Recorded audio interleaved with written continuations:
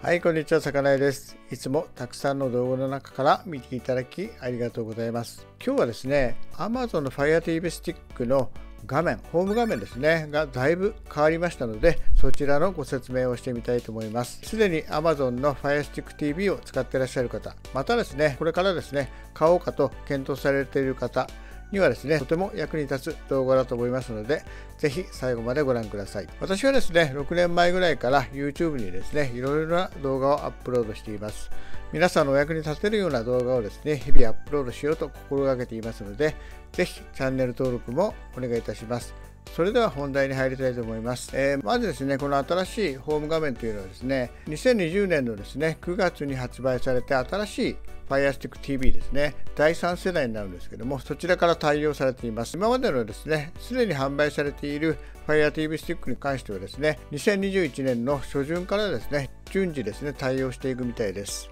ではですね、実際の Fire TV スティックのですね、画面を見ながら説明したいと思います。えー、まずですね、Fire Stick TV を立ち上げますと、こういう画面になります。この上、こちらなんですけども、こちらの方にですね、注目の映画とかテレビ番組とかライブ中継とかですね、ここら辺に予告が出てきます。そしてこちらのリモコンのこの上を押すとですね、ここが大きくこういう風に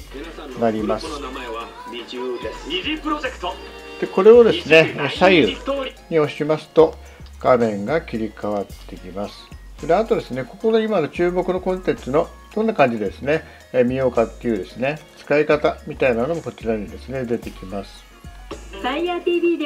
こんな感じでですね、説明が出てきます。でこれをですね、戻すときは、このですね、リモコンの下を押しますと、こちらのホーム画面、元の画面に戻ります。で次にですね、大きく変わったら、ここメインメニューですね、がこういうふうに並びました。えこちらの方からライブラリーで、これはですね、今ご自分が見ているもののウォッチリストとかですね、まあ、ここレンタルしているものがあればですね、レンタルしているものとかというものが出てきます。で次にですね、ホーム。ホームは先ほどの元の画面に戻ります。であと、探すというのがですね、これが非常に探しやすくなったと思うんですけども、これをですね、リモコンを下にしますと、こういうふうになるんですが、えこれ音声の検索ですね。例えばここでですね、このリモコンのここの部分を押してですね、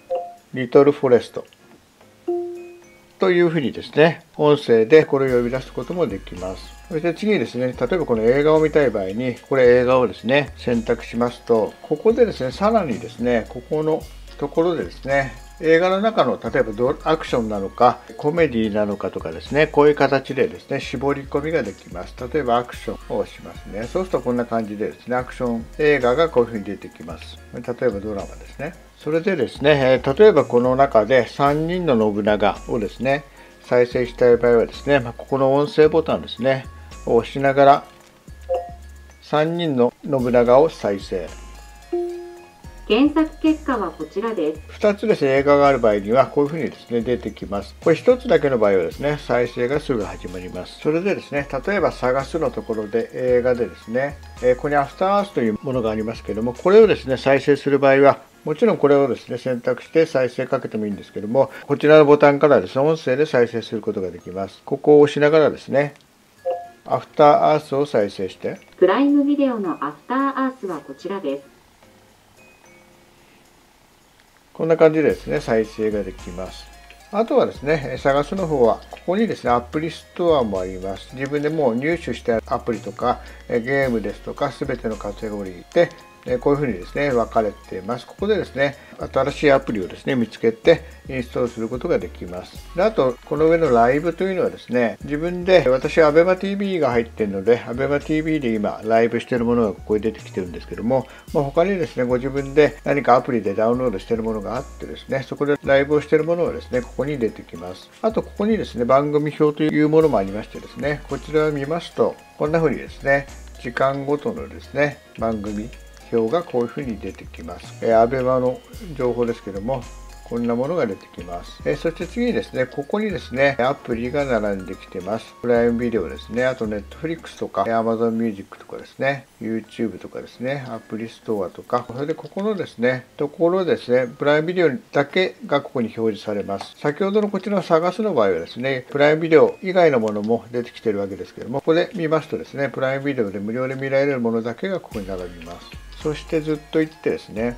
ここに設定が出てきます。ここでですねいろんな設定がですねできるようになりました。そしてですねここのところなんですけどもここですねここにはですね使ってる本にですねこういうプロフィールとかですね子供さんのものとか追加ができるんですけどもこれ6人までですね設定できます。それこのプロフィールを設定するとどういうことかというとですねその方のですねアプリとかウォッチリストとかですね設定している情報とかがですねここで変えることができます。今自分のものになってますけどもこれをですね子供のものに変えてこれで選びますとですね。このライバラリーはまだ何も入れてないので、まあ、この形でそのですねプロフィールの型のですねものがですねここに設定されるようになります。はい。こんな感じでですね非常に使いやすくなったと思います。はい、ということでですね、今日はこちらにあるですね、Firestick TV の画面がですね、大きく変わりましたので、ご説明しました。非常にまあ使いやすくなったと思います。特にね、検索のところとかですね、あとやっぱ音声でですね、映画が再生できたりするのはいいですよね。あとこちらの方のボタンっていうのは、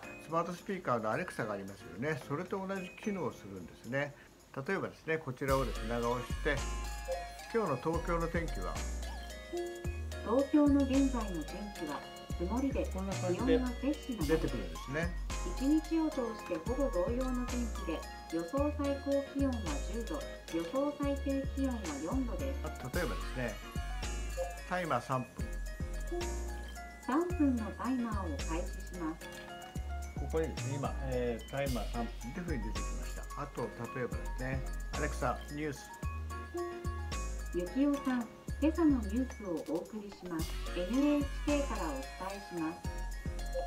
すこんな感じでですね、えーアレクサ、スマートスピーカーみたいな感じでもですね、これ使えるんですね。まあ、そこら辺も非常に、えー便利かなと思います。あとです、例えば、アレクサ、猫の鳴き声。